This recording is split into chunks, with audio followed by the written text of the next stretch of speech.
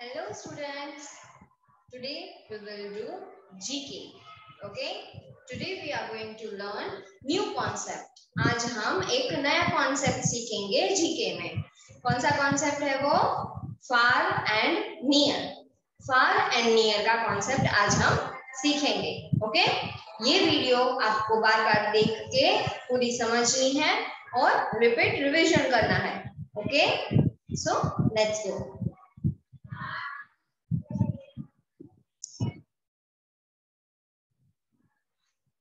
yes yes. अब देखो यहाँ पे आपको स्क्रीन दिखाई दे रही है yes concept far and near पूरी वीडियो ध्यान से देखना और समझना Hello children, hope so all are doing good. Today we are going to learn a new concept of far and near. Things are near to us while some are far from us. Children, हम रोज नई नई चीज़ें देखते हैं। आसपास हमारे आसपास सारे नई नई चीज़ें हम देखते हैं।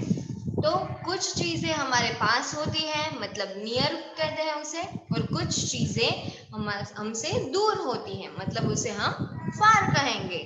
ओके सो so, वो चीज़ें हम किसे फार कहेंगे नियर कहेंगे वो हम आज सीखेंगे yes yes. when we compare things based on their distances, we say object is near and far. हम उसे कंपेयर कैसे करेंगे हमें मालूम कैसे पड़ेगा कि वो फार है या नियर है हम उसे डिस्टेंस से कंपेयर करेंगे ओके okay?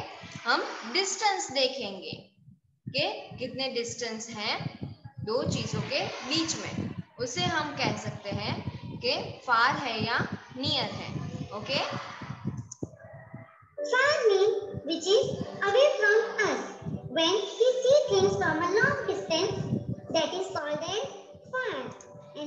फार किसे कहते हैं? जो चीज़ हमारे दूर है। जो चीज़ दूर है। इसे फार कहेंगे ओके okay? जहाँ पे डिस्टेंस जो डिस्टेंस होता है दो चीज़ों के बीच में वो ज़्यादा है मतलब उसे फार कहेंगे।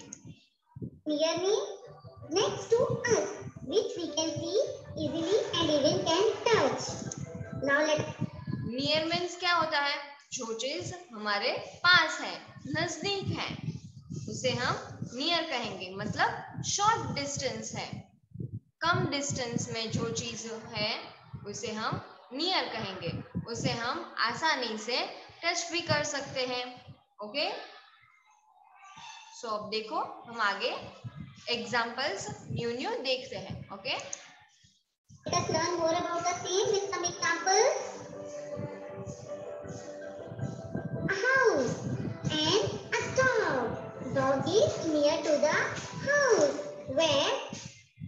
देखो यहाँ पे एक हाउस है। क्या है? एक हाउस है। ये एक हाउस है। और यहाँ पे एक डॉग है। अब डॉग है वो हाउस घर के पास में ही खड़ा है। यू कैन सी दैट यहाँ पे कोई डिस्टेंस है नहीं। वो घर के पास में ही खड़ा है। डॉग है वो घर के पास में है। मतलब उसे हम क्या कहेंगे? नियर क्या कहेंगे उसे हम? Near yes The sun, the bird are far from the house.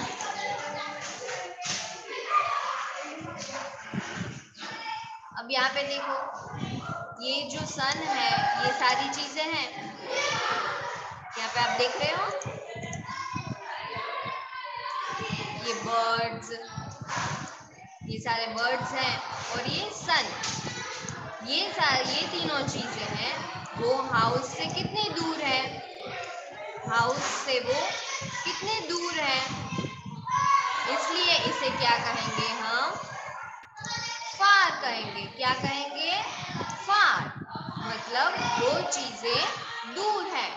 इसलिए उसे कहेंगे far birds and sun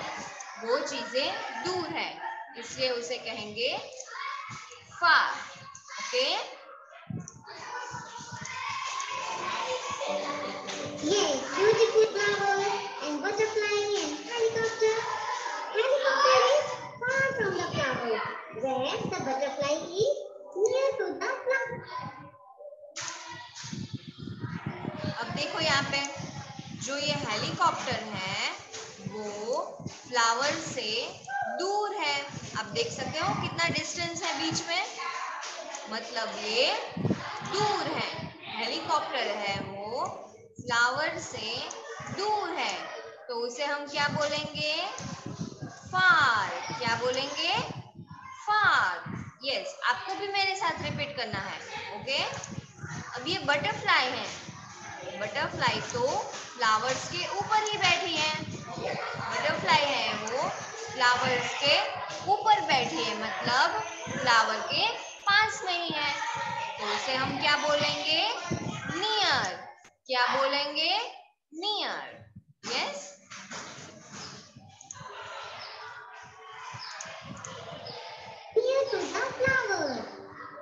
Here we can see a cat. A cat is near to the tree, but the boy is far from the tree. Yes यहाँ पे देखो ये क्या है?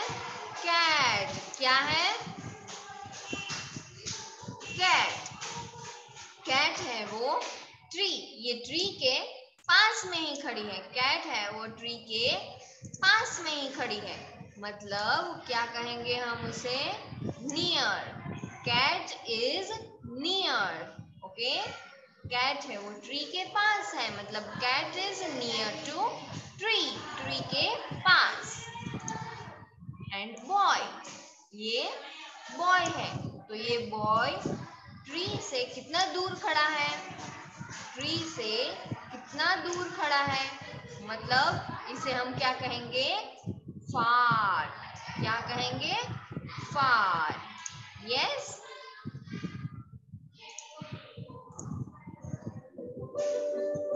Wow, football net. Yes, this football is near to the where the other football is far from the net. Yes देखो, यहाँ पे ये फुटबॉल है वो नेट ये नेट है. आप देख रहे हो? इसे नेट कहते हैं। ये पूरी नेट है ना? ये वाइट वाइट आपको दिख रही है? ये नेट है। तो ये जो बॉल है वो नेट से पास है, नज़दीक में ही है। तो इसे हम क्या कहेंगे? Near ball is near to the net net के पास है. यस एंड ये बॉल ये बॉल है, दूसरी बॉल वो नेट से दूर है. नेट यहाँ पे है. और बॉल यहाँ पे है. तो ball is far to the net ball is far to the net okay Now we will do the activity. अब देखो हम एक छोटी सी एक्टिविटी यहाँ पे समझेंगे। Tree,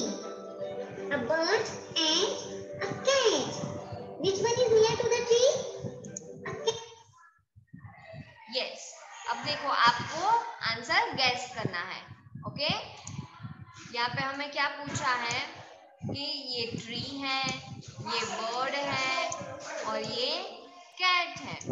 तो ट्री से नज़दीक, ट्री के पास, ट्री के पास कौन है?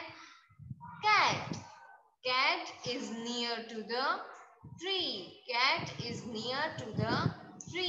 Bird तो बहुत दूर है। तो नियर पास में कौन है? Cat. Cat is near to the tree. Okay?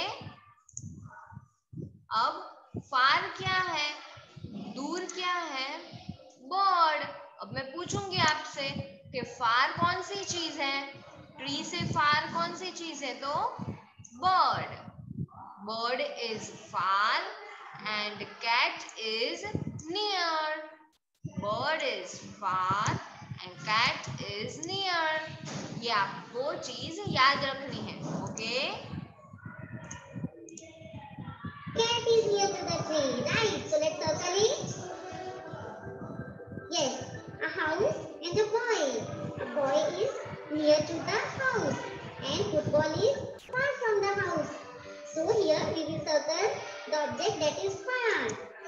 So यहाँ पे हमने क्या किया हमें फार ऑब्जेक्ट जो है वो सर्कल करना है मतलब ये जो बॉल है वो फार है बॉल है वो घर से दूर है far ball is far from the house ball is far from the house और ये जो बॉय है वो घर के पास ही है। ये बॉय घर के पास ही है मतलब boy is near boy is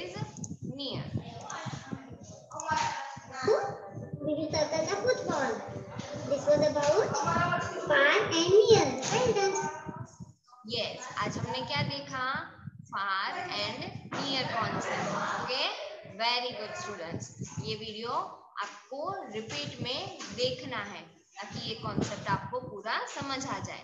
okay और फिर मैं जो आपको वर्कशीट या पीडीएफ जो होमवर्क भेजूँगी, वो आप करना। पर ये वीडियो आपको रिपीट देखना है और ये कॉन्सेप्ट समझना है। Okay bye bye students